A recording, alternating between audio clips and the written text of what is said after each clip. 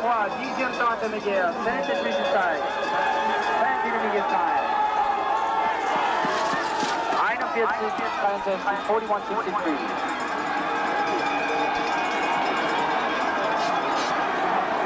Le temps à battre, 1, 14, 57.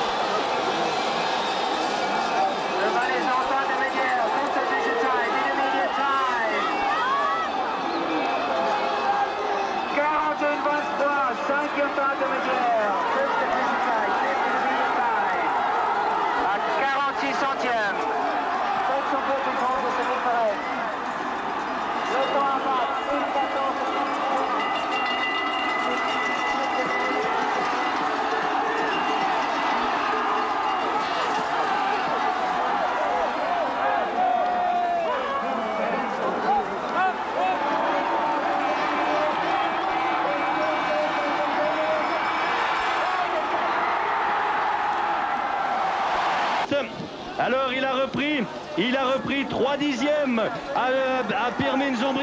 C'est dire que mathématiquement il a maintenant 33 centièmes d'avance en dépit de deux ou trois moments où vraiment il nous a fait peur et nous fait encore peur Joël. Mais c'est à ce prix qu'est la victoire. Muss 1 Encore euh, quelques secondes maintenant. Je crois que c'est bon. Une 15-16, c'est possible. Et le skieur de Morge. Non Non, Joël À quatre portes